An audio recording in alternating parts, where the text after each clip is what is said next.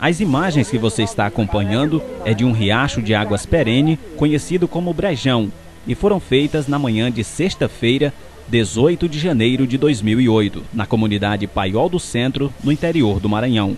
A comunidade Paiol do Centro é município de Parnarama e fica a menos de 50 quilômetros da sede do município, a comunidade é distante da cidade de Caxias, 85 quilômetros. Pela segunda vez, os moradores do povoado presenciaram este fenômeno que provoca medo e prejuízos às famílias que residem nas proximidades do riacho. A primeira enchente ocorreu em janeiro de 1990, segundo esta mulher.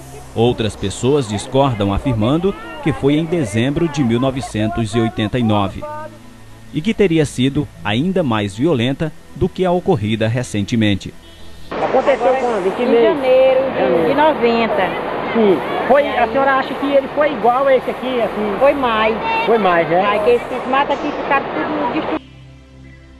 Só debaixo dessa água aí. Tinha algum barulho, alguma coisa? Ah, o- as coisas que tinha dentro da água, morreram tudo, os peixes. As pessoas relatam surpresas ao radialista da comunidade, Valdo Mulico, como perceberam mais este fenômeno natural.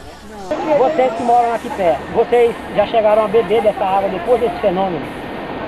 Já, já depois, já depois que ela passou, ela ficar bebendo na ponte. Mesmo sabendo que ela poderia trazer algumas consequências, né, pra, pra já gente. já bebendo já. Vocês acham que tem algum produto? Já bebemos, já banhemos, já banhemos muitas vezes. Ah, tem. Mudou o gosto, ela tem outro gosto. Pra lavar roupa, pra prestar? Não. Pra lavar roupa, toda vida ela foi É, foi, porque ela tem um caliço. Acontece que para nós é uma surpresa, porque a primeira vez deu grande prejuízo, tanto na- na- no- nos peixes como na, em, em alguns bichos animais que estavam na beira da vertente, e os sítios também, a lei, cerca, tudo foi embora. Inclusive até a ponte Traseco Brejão entre Paiol e Crimeia foi arrancada. Provavelmente deve ter sido o mesmo acidente. E o que acontece é que a gente não espera nada bom de um acontecimento desse, porque a água é poluída. Como é possível perceber, a força da água leva pequenos blocos de terra. A água ficou preta, barrenta e oleosa e provoca a mortandade de peixes que são jogados para fora do riacho, tanto pela força da água, mas também suspeita-se que eles deixam a água por não conseguirem respirar. Neste local, as crianças recolhem alguns deles, que são possíveis de serem capturados e exibem para a câmera. Todas uma- ah, é, muita gente diz que essa água ela vem contaminada com produtos químicos. O senhor acredita nessa hipótese? Acredito, porque os peixes estão morrendo. Inclusive a gente está se encontrando peixe morrendo aqui no momento. E antes morreu peixe, morreu cobra, morreu jacaré. E há 20 anos atrás, do mesmo caso que aconteceu hoje. Em ocasiões como essa, a água chega a subir mais de 2 metros, levando pânico aos moradores. Adilson é morador da comunidade e fala ao radialista o que geralmente acontece com os animais aquáticos e como fica a água durante e depois de cada fenômeno como esse. É produto químico mesmo, né? Eu acredito sim. E o senhor acha que essa água, ela depois que ela ficar limpa, por exemplo, se ficar, né? Ela pode ser, é, por exemplo, a pessoa pode beber, pode lavar, pode tomar Vai. banho. Vai ser perigoso. Porque há, há 20 anos atrás aconteceu assim, sabão, não dava espuma, os peixes morriam. Com uns 20 dias ela foi limpando, ficou da cor de, de água de anil, mas os peixes morrendo. E Eu, eu, eu penso que vai ser o mesmo problema. senhor acha que naquela vez, na passada, em 90, acho que em volta de 92, né?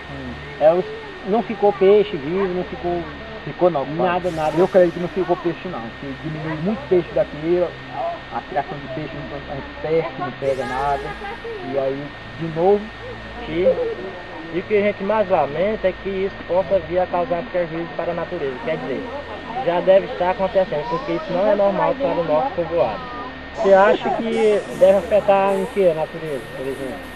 Questão dos peixes, é, pessoas têm plantações por trás de casa, que as casas estão à margem do, do, do riacho. Então, com certeza, não deve ter escape nada. Pelo menos como vocês viram agora, tá aqui os meninos pegando peixe aqui fora da água, praticamente. Os peixes todos agonizando e as pessoas pegando para, uns por admiração, por curiosidade, outros até mesmo para a sua própria alimentação.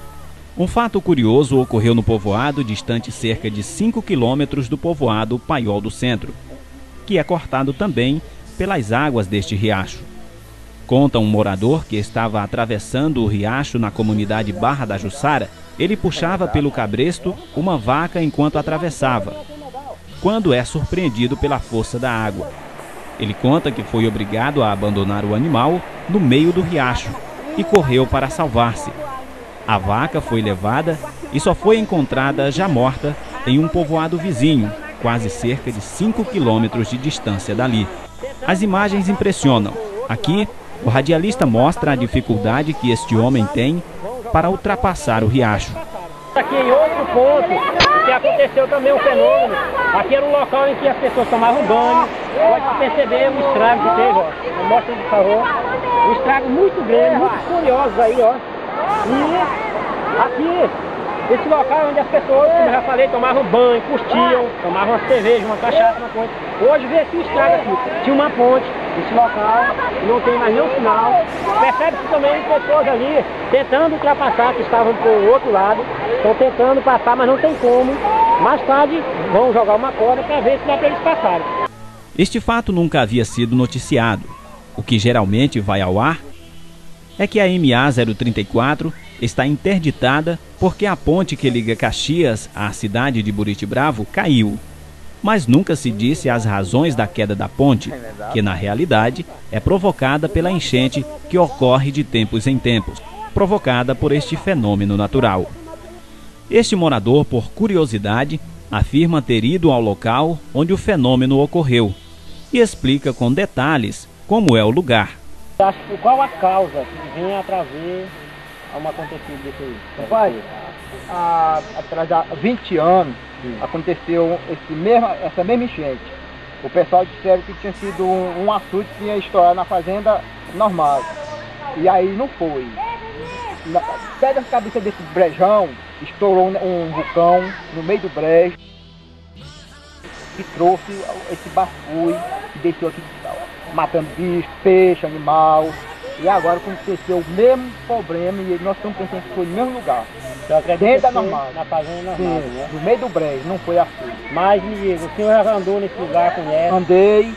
Lá, lá quando aconteceu o negócio com assim, um mês eu andei lá, tinha um material parecendo sal moído. E esse sal eu, eu fui uma parte, um rapaz levou para São Luís, para o laboratório, aí não souberam, não veio a decisão. Mas lá, mato, nunca nasceu mato, nasce e morre. A situação é explicada por outras pessoas que também falam sobre o fenômeno. Acontecido passado e eles são também uma prova, né? Do, da, de um local, de onde aconteceu o local.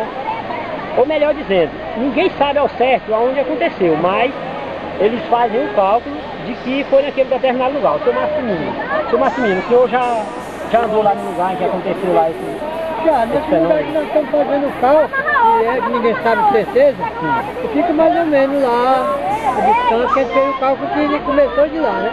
O senhor lembra assim mais ou menos a data, o dia que aconteceu esse fenômeno? Eu sei de certeza que foi em dezembro, em novembro de dezembro. 23 de dezembro de 89.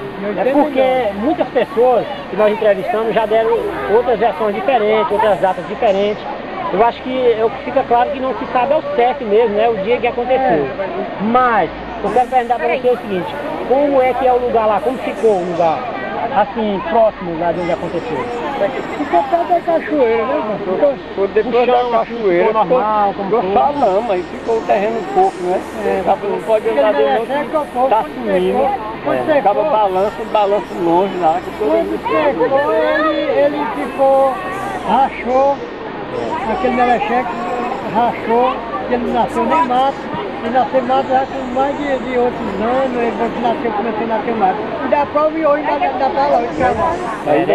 Ainda tá escavado ainda. Certo. Ainda nasceu mato ainda não. Não, né? Não. Então, me diga uma coisa, a água, como foi que ficou a água lá? A água era limpa, era Não, suja, canalizada ela ficou, ela dessa mesma forma. dessa mesma forma aí.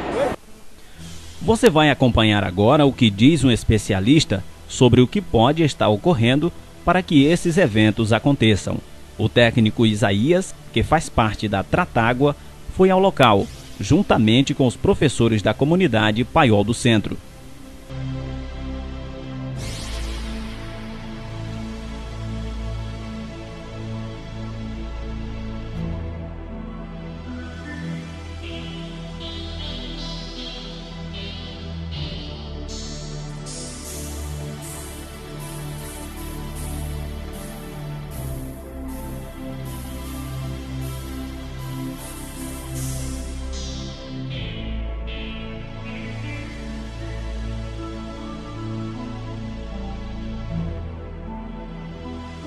Este é o lugar onde o fenômeno acontece e fica logo acima do povoado Paiol do Centro, na fazenda Crimeia, cerca de 3 quilômetros, que hoje pertence a um grupo empresarial. O técnico fez a coleta do material para ser analisado em laboratório.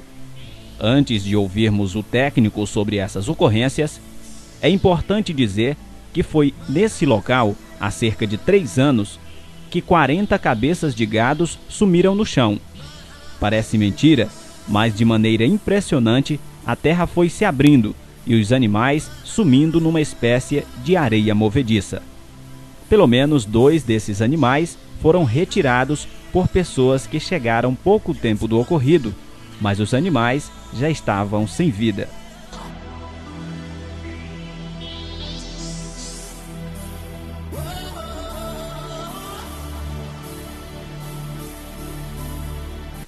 O local ainda guarda marcas do evento, misterioso para muitos. Várias rachaduras são encontradas e uma grande cratera cheia de água chama a atenção de todos.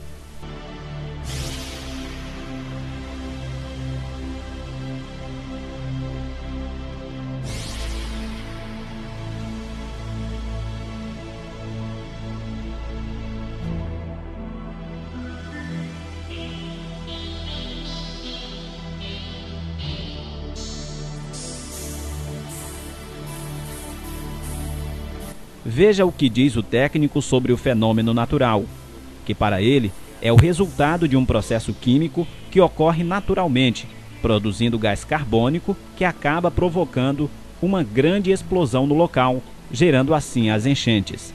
Vai se acumulando parte desse sedimento. Nós. O que é o sedimento? É a matéria orgânica do solo, é a matéria orgânica dos vegetais, das frutas e dos animais, que vão morrendo milhares por dia de bactérias e fungos e protozoários e algas. Então esse material vai, por diferença de densidade, eles descem para o fundo do lago. No fundo do lago, na ausência do oxigênio atmosférico, que lá é zero embaixo, ele fermenta, que é nós, nós que quiser, metabolizamos o oxigênio para viver e, ter a energia dentro. Se movimentar, pensar, tá entendendo? Uhum. Lá, esses seres que são os mais atrasados possíveis, eles estão no fundo do lago e estão aqui. Se você tirar oxigênio, essas bactérias que são chamadas anaeróbicas e anaeróbicas facultativas, elas vão fermentar, vão decompor, se alimentar desse material e vão liberar dióxido de carbono. Mas no caso da, da, desses fungos? É porque ela vai produzindo e ali debaixo, nesse, nessa tunfa, que é esse material orgânico, ela vai acumulando gás. No momento que tem o, o gás vai formando uma pressão, ele vai formando uma bolha. No momento que essa pressão é violenta, ele rompe esse material bem e puf, sai para a atmosfera. Quando ele sai, esse material que estava preso na bolha de gás afunda. Entendi. Isso é um processo natural. É que nem um material que nem é Tem que isolar essa área para ser humano e animais não se aproximarem. Só o animal natural que não tem jeito, né? Capivara, que é a ração da água. Segundo ele, geólogos podem comprovar as suas explicações e afirma que o problema pode ser solucionado de uma vez por todas se retirada toda a vegetação que cobre o local. Além disso, uma contenção de concreto deve ser feita, isolando a área. Isso aí pode, vai vir o geólogo para comprovar que ele vai fazer uma análise do solo e ele tem que dar uma, um certificado disso. Um geólogo e ele vai fazer isso e faz a análise do solo, mas ele vai comprovar. Quando ele pegar meus dados do relatório de análise física e química, ele vai esclarecer. É um processo natural, porque é uma região de vale que concentra muita matéria orgânica, vegetal e animal. Né? tudo aqui, né? Todo e da floresta aí, ó. Da floresta que tem ao longo aí, ela vai puxando. Isso é um processo natural. Mas é um processo natural. Aí só tem um jeito, só acaba isso aí, sabe como? Se você arrancar da nascente dele até aqui, toda essa vegetação, não deixar nada, e fizer uma contenção de concreto, mesmo desaparece. Mas, esse mesmo gás que sair, se ela rolar aí por 20 quilômetros, esse gás sai para a atmosfera, ela adquire oxigênio do ar e você pode consumir água. Eu não sei por quantos quilômetros, eu não fiz o estudo. Mas ela readquire oxigênio e tranquilidade novamente. E é muito rápido quando ele estoura aí, é muito rápido, ele faz um bagaço enorme. É. Muito. É a camada de dióxido de carbono. Meu amigo, isso é rápido demais pra ele limpar esse brejo aí, é ligeiro demais. Ele limpa e limpa. Não deixa de no meio também ter gás metano. Então o metano demora mais para se formar, mas tem gás metano aí dentro também. Até o momento, nenhuma outra medida foi tomada para prevenir a comunidade de mais ocorrências parecidas. Enquanto isso, os moradores do povoado Paiol do Centro aguardam mais uma vez o dia em que mais uma enchente volte a ocorrer.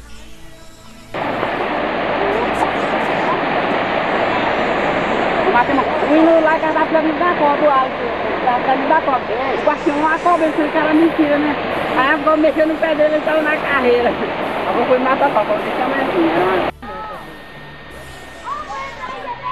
Pegou um grande ali, pegou. Pegou aquele ponto no